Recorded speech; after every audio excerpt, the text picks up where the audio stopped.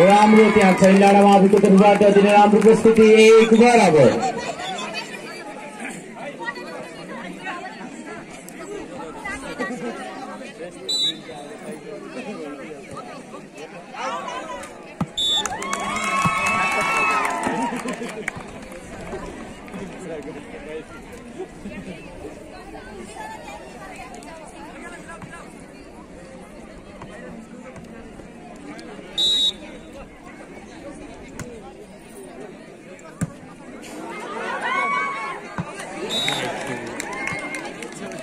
तिन सय हो यो।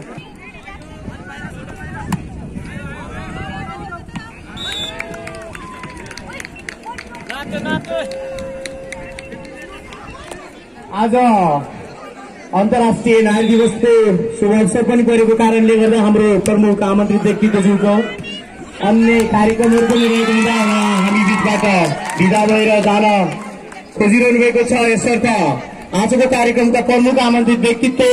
संयुक्त जिल्ला समन्वय समिति प्रमुख आदरणीय सीता कुमारी सुन्दासज्यूलाई